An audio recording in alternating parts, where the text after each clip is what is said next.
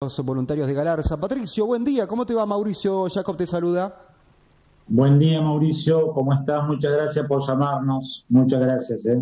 De nada, de nada. Bueno, queríamos indagar un poco eh, en el funcionamiento, en la actualidad de cada una de las instituciones de diversas localidades donde estamos así con Canal 6 y nos detenemos eh, en Bomberos Voluntarios de, Galarza. Vamos a contarle a la gente, Patricio, qué es lo que están eh, llevando adelante. Bueno, vos sabés que todo cuartel, por más chico que sea, tiene sus gastos fijos, combustible, energía eléctrica, gas, consumos varios que se hacen permanentemente en un cuartel. Y bueno, el cuartel nuestro, un cuartel con cinco móviles en perfectas condiciones, un cuartel grande con comodidades para los bomberos, con 28 bomberos del cuerpo activo este, efectivos. Eh, tiene gastos que permanentemente hay que estar este, corriendo detrás de ellos. Estos últimos meses no es una novedad, este, faltan recursos el Estado está escaso de fondos a nivel nacional, de fondos a nivel provincial exactamente lo mismo. Así que eh, las, este, las partidas que de vez en cuando llegaban para lo que es gastos fijos, combustible, etcétera, en este momento están totalmente paradas. Nosotros la última partida que recibimos fue por allá por el mes de junio del año pasado, eran 150 y pico de mil pesos, o sea que te imaginas que se terminaron hace rato. Eh, un camión de los nuestros, cualquiera, carga 250, 300 mil pesos de combustible. Por lo tanto, este, se nos complicaba, se nos complica mucho eh, subsistir sin la ayuda del Estado. Así que bueno, eh, tenemos el aporte de los socios, nosotros tenemos un, un, este, un socios activos, tenemos aproximadamente 700 socios activos, pero no alcanza. Por lo tanto, salimos, al igual que otras instituciones, a buscar la plata este, vendiendo cosas. En este caso, bueno, este domingo hacemos una pollada, salimos a vender pollos este, para tener algo de efectivo en lo inmediato. Y en el, en el interino, en el transcurso, estamos, vamos a aprovechar la cosecha gruesa, este, acá sabés que es una zona, bueno, como ahí como la de ustedes, una zona de mucho campo, donde gracias a Dios este año hemos tenido una cosecha eh, mucho mejor a la de los años pasados, que tuvimos mucha sequía. Así que bueno, hemos este, largado una campaña este, conjuntamente con la Cooperativa Agrícola Mixta La Protectora, que son medio nuestros, nuestros padrinos, nuestros compañeros de ruta en esto, y eh, la campaña consiste en que cuando el, productor agrícola va a liquidar eh, su cosecha gruesa en la cooperativa, ahí se le consulta si éste desea hacer alguna donación para el cuartel. De ser así, dice cuánto, esto es libre, o sea, el que quiere, quiere y el que no, estamos agradecidísimos igual este, dice cuánto cereal quiere dejar a favor nuestro, dice, bueno, suponete mil kilos de una tonelada de maíz, una tonelada de soja, 500 kilos, tres toneladas, lo que sea, la cooperativa le liquida la diferencia al productor y esos kilos nos lo liquida a nosotros con un cheque a nombre del cuartel de bomberos. Eh, una iniciativa que ya habíamos hecho, esto ya lo habíamos hecho hace unos 10, 12, 15 años atrás, y la verdad que nos dio muy buen resultado porque la gente en la zona es muy solidaria, no nos podemos quejar. Nos ayudó muchísimo, tanto es que en las primeras paredes, los cimientos y demás del cuartel se levantaron con esa campaña que hicimos en ese momento.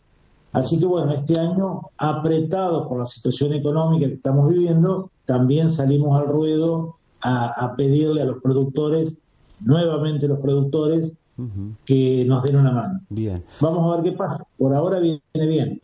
¿Esto ya arrancó? ¿Ya, está en marcha, Patricio? Sí, sí, recién arranca, arrancamos este lunes pasado con la promoción, este, haciendo, bueno, por supuesto, grupos de WhatsApp y demás en todo lo que son los productores locales.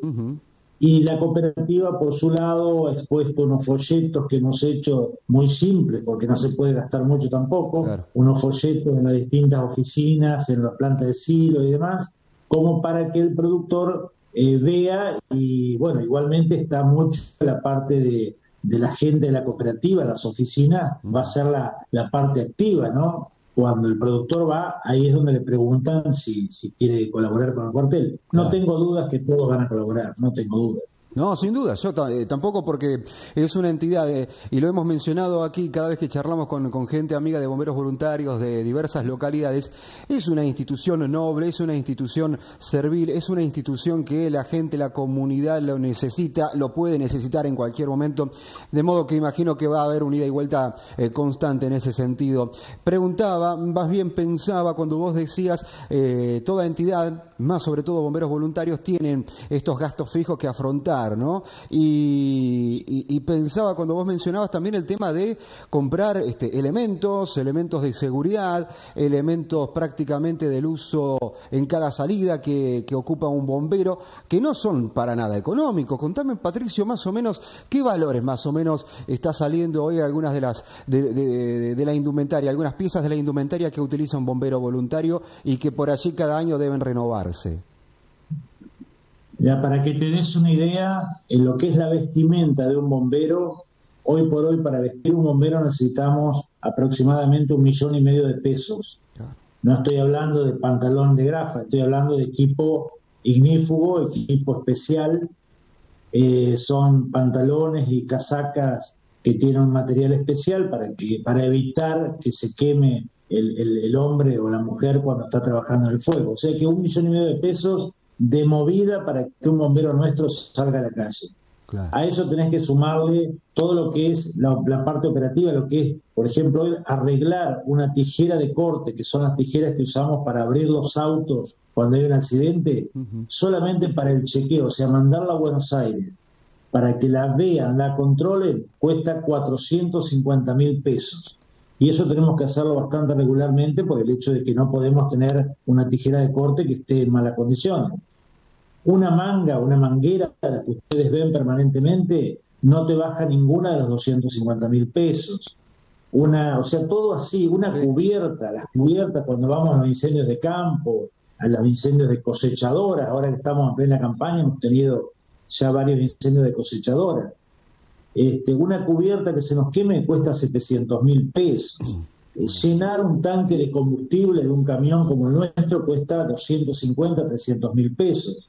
O sea que son todos valores que hablamos de miles de pesos, que la verdad sin, este, sin la ayuda de la gente hoy sería imposible tener un cuartel como este activo 24 horas los 365 días del año. Sin duda. Eh, se complicaría mucho, mucho, mucho. Totalmente, ¿eh? totalmente. Números que se han ido a la estratosfera en relación a otros años, ¿eh? una locura. No, cambiar el aceite de un camión, nada más lo que cuesta. Hoy estamos hablando de 200, 250 mil pesos para cambiar aceite. Claro, y son, eh, no, estamos hablando de inversiones fuertes, hablamos de un mantenimiento, ¿no? No, ahora tengo, tengo que cambiar un tanque de un, de un camión. Tenemos el camión, el Móvil 1, con el cual iniciamos nosotros, que es un Dodge viejito, un 276, eh, que fue regador municipal y que de la municipalidad pasó a nosotros allá en el año 2002, 2003, cuando, cuando arrancamos.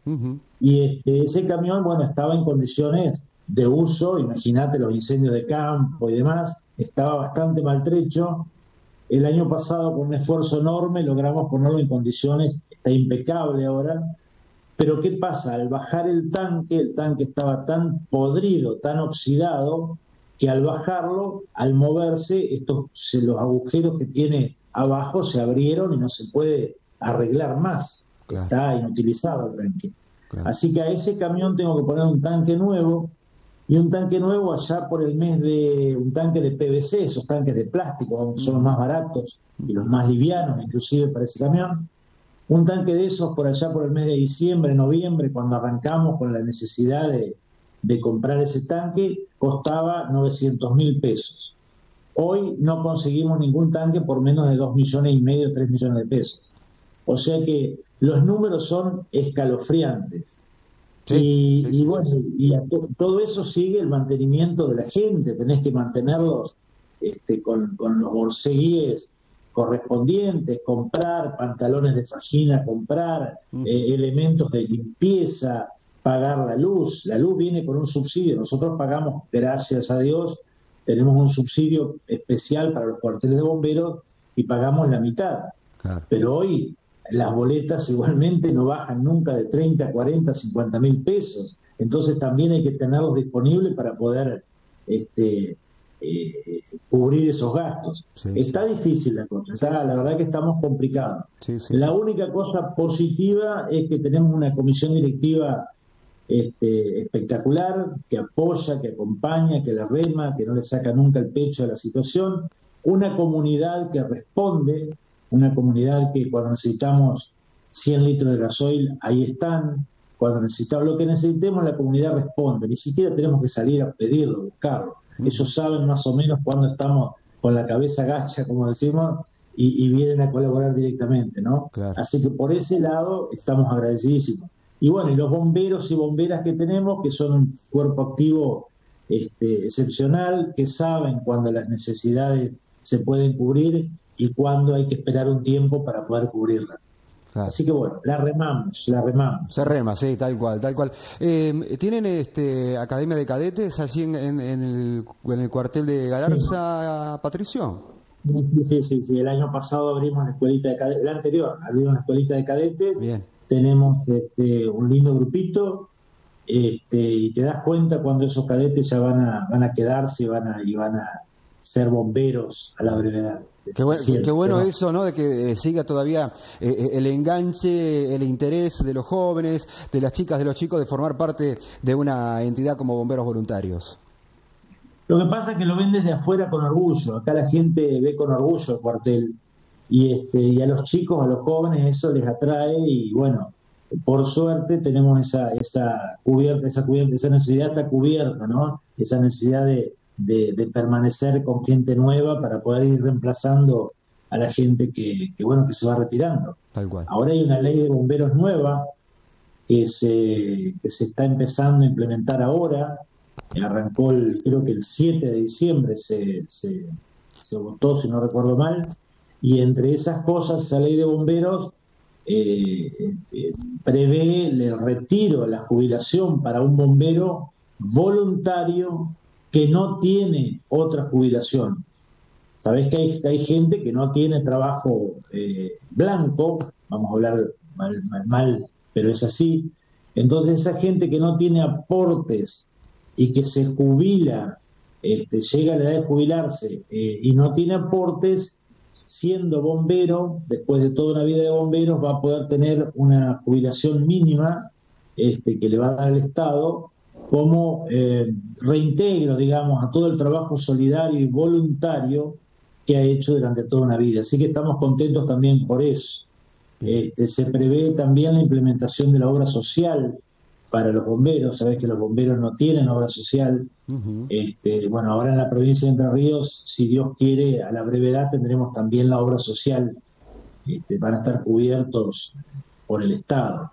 Eh, yo insisto en hacer saber a la gente que el bombero en Entre Ríos, el bombero voluntario, como el caso nuestro, no cobra un peso, ¿eh? acá es todo ad honorem. El bombero y la comisión directiva, nosotros estamos acá por amor al fuego, nada más. este, entonces creemos que nosotros como directivos eh, nos sentimos este, contentos, orgullosos de que de ahora en más yo no sé si este año, pero yo calculo que ya el año que viene va a estar este, implementado ya el, sistema de la jubilación para el bombero voluntario y de la obra social también tan merecida y tan necesaria este, para el bombero voluntario. Así que eso es una, favor que tenemos desde hace pocos meses y que yo calculo que para el año que viene ya va a estar implementado el sistema. Eso es una buena noticia para el sector.